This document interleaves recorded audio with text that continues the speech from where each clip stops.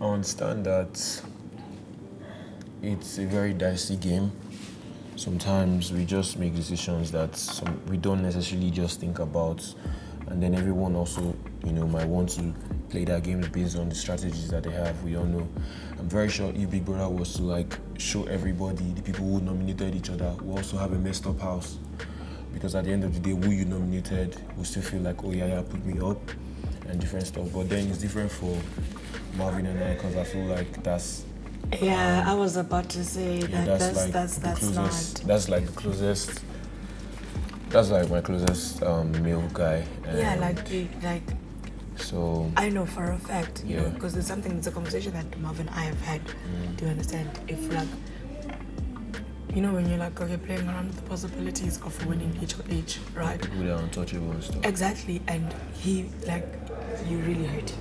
You really hurt him. Me, I'm like neutral because I'm like it's a game. You know, like yeah, I'm disappointed. I wasn't expecting it, especially so early in the game.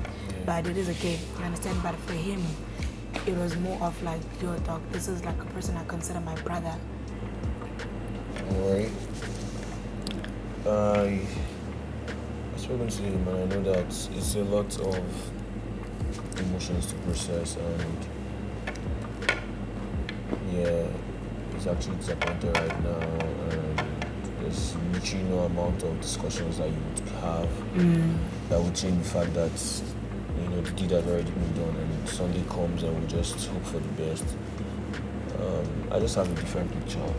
I actually cannot explain myself to everybody because at the end of the day, we all made um, decisions, uncomfortable decisions in our own closed doors and stuff. And yeah, I just hope for the best and I hope everything that I've actually imagined in my head works out.